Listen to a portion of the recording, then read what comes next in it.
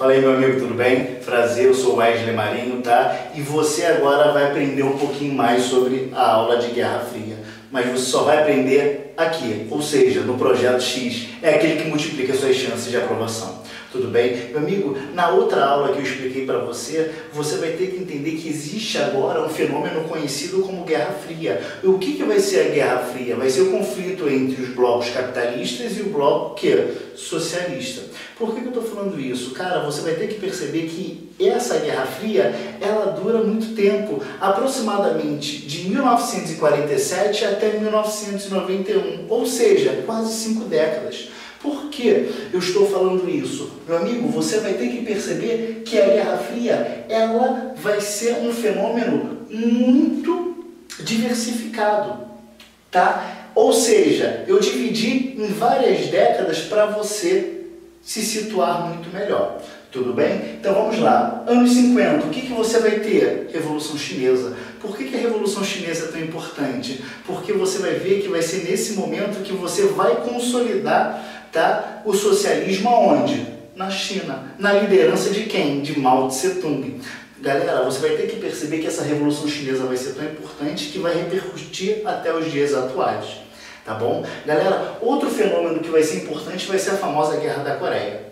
Gente, mas você vai ter que perceber que a Guerra da Coreia, ou seja, a Coreia, do, a Coreia já estava dividida desde a Segunda Guerra Mundial, o famoso paralelo 38 graus. Tá? Você vai ver que vai ser por causa dessa guerra da Coreia que você vai consolidar o que? Essa divisão entre Coreia do Norte e Coreia do Sul. Coreia do Norte socialista, Coreia do Sul capitalista. Tudo bem? Outra, galera, macartismo. O macartismo aconteceu aonde? Dentro dos Estados Unidos. Tá? E o macartismo vai ser implementado pelo senador Joseph McCarthy. Tranquilo? E você vai ter esse lema, caça às bruxas. Que às bruxas é tão importante? Meu amigo, uma, você vai ter que se lembrar que o Joseph McCarthy falava que existiam comunistas querendo tomar o poder dentro dos Estados Unidos. Mas isso é verdade? Tudo bem. Por que, que eu estou falando isso? Porque você vai ver que ele utilizava esse conceito para conseguir arrecadar dinheiro.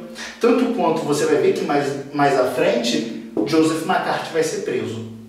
Tudo bem? Galera, e um outro fenômeno muito importante, galera, veja isso daqui, desestalinização. Porque o nome já fala, o nome já fala, perdão, é você querer fazer o quê? Acabar com o pensamento do Stalin. Por que isso? Você vai ver que vai existir agora um novo líder da União Soviética, cujo nome é Nikita Khrushchev. E ele vai criticar esse período stalinista, ele vai criticar o culto ao líder, ele vai criticar o excesso de burocratização dentro da União Soviética. Tudo bem? E é por isso que você vai ter o período, como você chama, desestalinização. E galera, e vai ser por causa desse período de desestalinização que mais à frente, lá nos anos 70, que você vai ter um fenômeno conhecido como détente. O que, que vai ser détente? Vai ser a aproximação entre os Estados Unidos e a União Soviética.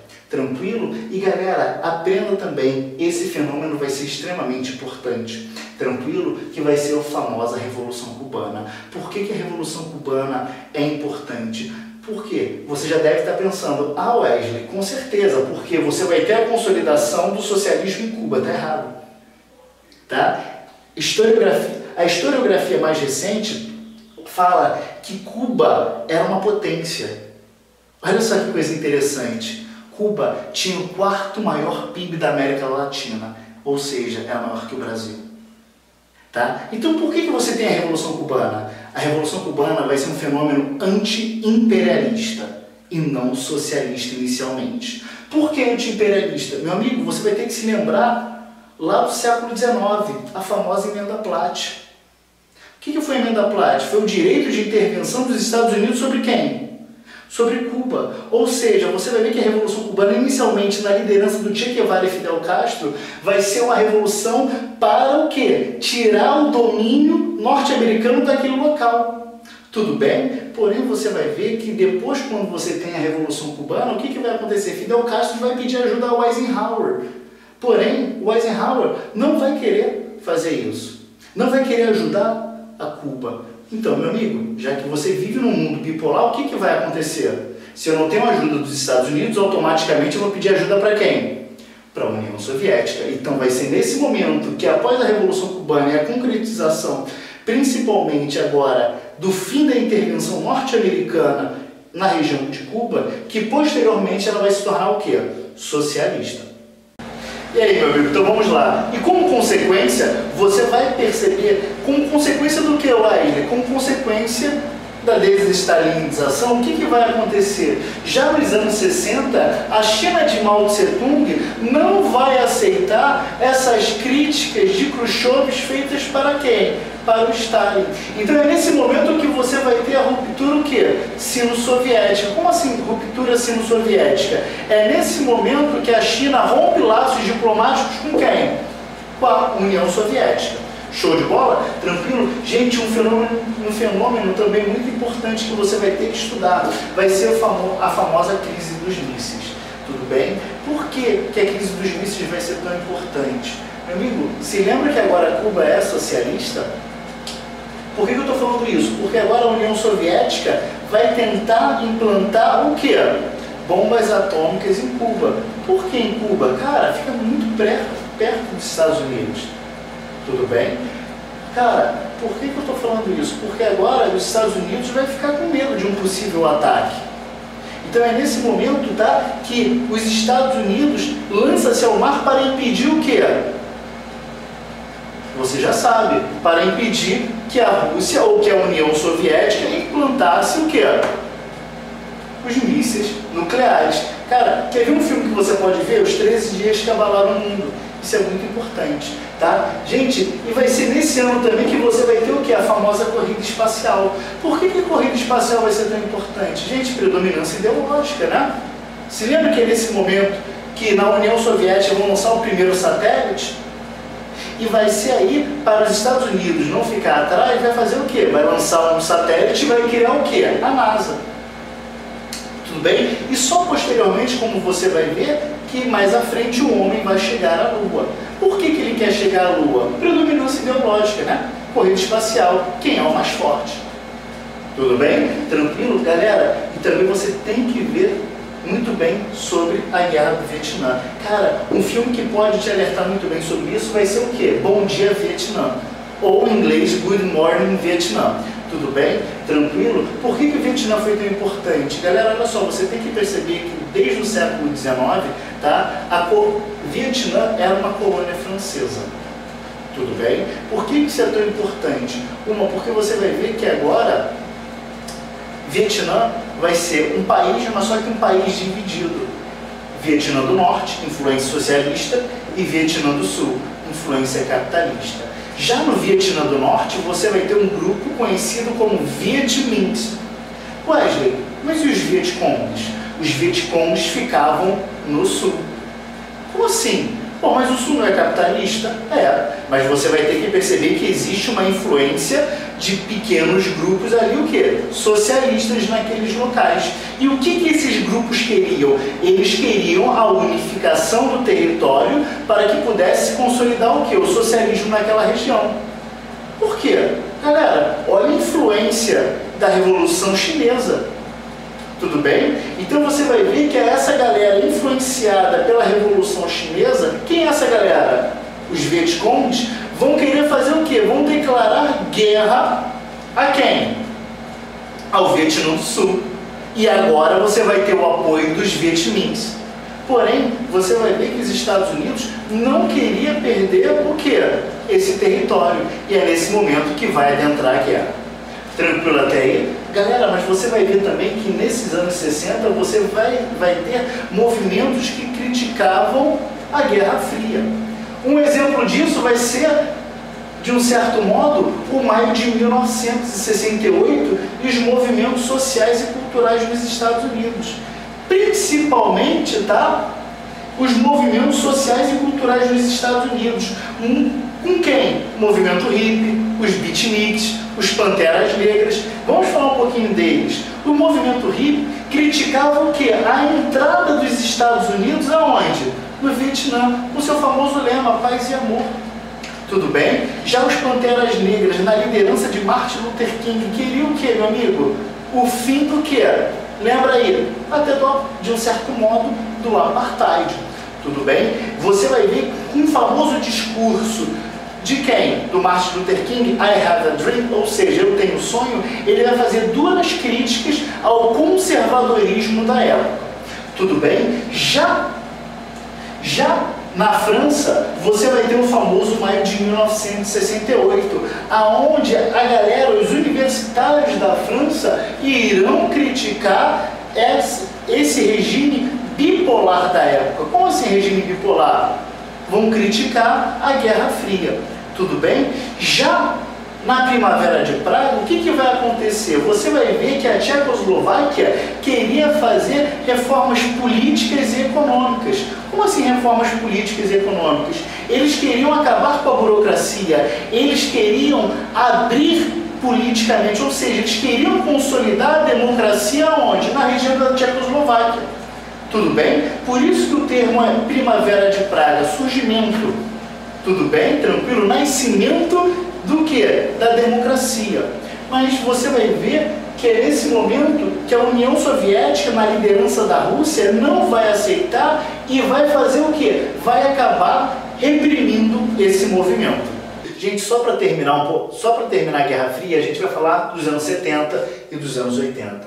Galera, olha só, anos 70 você vai ter que aprender. Detent é a mesma coisa do que distensão. O que, que vai ser isso? Vai ser a aproximação entre Estados Unidos e a União Soviética. Tudo bem? Já ligado a Detent, você vai ter o que? O famoso plano SALT. O que, que vai ser o plano SALT? Meu amigo, agora vai ser a redução da produção dos armamentos o quê? nucleares. Por quê? Gente, se lembra do período de aproximação? Olha aí. Cara, mas com todo esse período de aproximação, você vai ter a guerra do Afeganistão de 1979.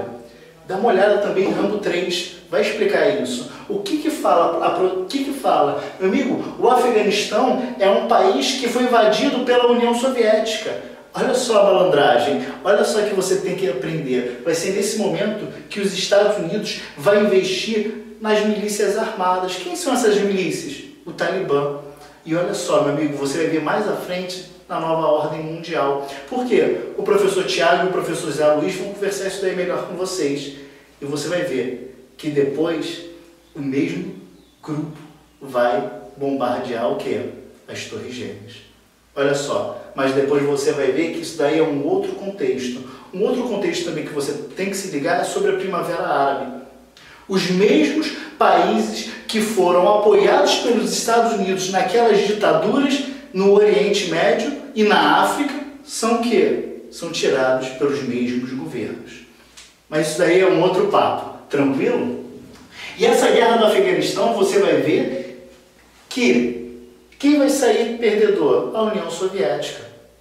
Tudo bem? Tranquilo? Então, galera, já nos anos 80, você vai ter que se lembrar, você vai ter que entender. É nesse momento que a União Soviética entra em crise. Vai ter um historiador chamado Franz Fukuyama que ele vai falar sobre o quê? Sobre o fim da história. Como assim o fim da história?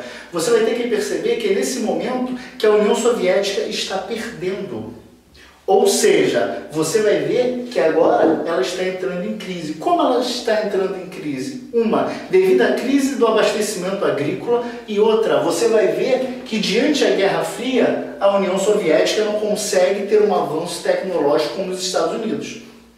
Tudo bem? Por que, eu estou falando isso? Porque para impedir essa crise, o Gorbachev, líder da União Soviética nesse momento, vai fazer dois tipos de reformas. Quais são? Glasnost e a perestroika. Uma é a abertura política e a outra é a abertura o quê? Econômica. Como assim abertura econômica? É nesse momento que você vai ter o quê? A entrada das empresas privadas aqui. Tranquilo? Mas eu quero que você se ligue nisso, ó. principalmente nessa abertura política. Por quê? Porque você vai ver que vai ser por causa dessa abertura política que você vai ter o conflito entre os conservadores e os ultras reformistas. Como assim abertura política? Inserção da democracia, né, meu amigo? Tudo bem? Ou até direitos democráticos que você tinha lá nos anos 60. Se lembra da Primavera de Praga? Tranquilo? Galera, então, voltando, você vai ver que quem são os conservadores e esses ultra-reformistas? Os conservadores são aqueles que querem manter a burocratização da União Soviética, diferente dos ultra-reformistas. Ultra-reformistas, o nome já fala, são aqueles que apoiavam o quê? As reformas. Um exemplo disso vai ser quem? Boris Yeltsin. Tranquilo? Então, galera, vamos para o X da questão. Gente, olha só, uma, você vai ter que entender que vai ser por causa da crise da União Soviética que você vai ter o quê? A famosa queda do Muro de Berlim. Ou seja, vai ser devido à crise da União Soviética que agora a União Soviética vai deixar de investir aonde? Na Alemanha Oriental. E é por isso que no ano de 1989 ela vai se unificar. Ok? Gente, e agora também você vai ter que perceber que vai ser também por causa dessa crise que você vai ter o que? A formação das comunidades dos estados independentes, conhecidos como SEI. Ok? Galera, olha só, eu não estou falando isso daqui muito porque o Thiago e o Zé Luiz vai falar isso daí melhor para você no Nova Ordem Mundial, tá? Mas você vai ter que entender que vai ser por causa dessa crise e desse conflito entre os conservadores e ultra-reformistas que você vai ter o fim da União Soviética, tá? E esse fim vai ser o quê? Uma, a saída do a saída do Gorbachev do poder e a entrada de quem? do Boris Yeltsin. E é nesse momento que você vai implantar o neoliberalismo na Rússia.